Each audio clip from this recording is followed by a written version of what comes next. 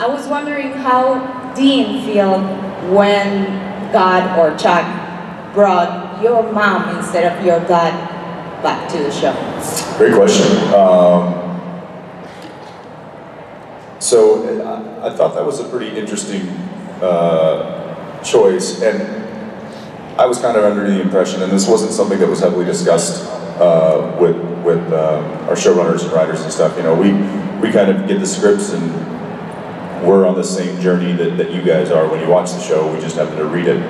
Uh, so when mom came back, you know, sure, yes, Dean has always longed for his mother uh, to be a part of his life and to have been a part of his life. And he, you know, the what he had, the ideas that he had about his mother were just really ideas because he was, you know, six years old when she burned on the ceiling. Uh, and so the life that, that he missed with her was only in his mind.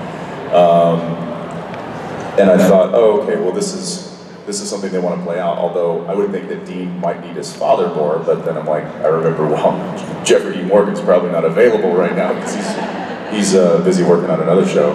Um, but anyway, I didn't, I didn't give it. You know, I was like, sure, mom, okay. And it didn't really make a.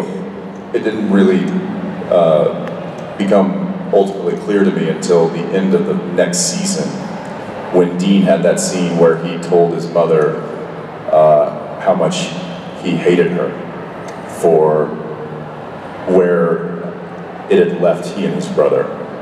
And, and I think that's what, when Amara and Chuck gave uh, Dean his mother back, it was because of that moment. Dean needed to realize how he truly felt about the situation, and he needed to be able to forgive her and to be able to move on. And it was a pretty powerful scene, and it wasn't until that moment where I was like, that's what he needed the most. It wasn't just having his dad around. He needed to have this confrontation with his mother, and that was something that he needed in order to heal himself. So that's.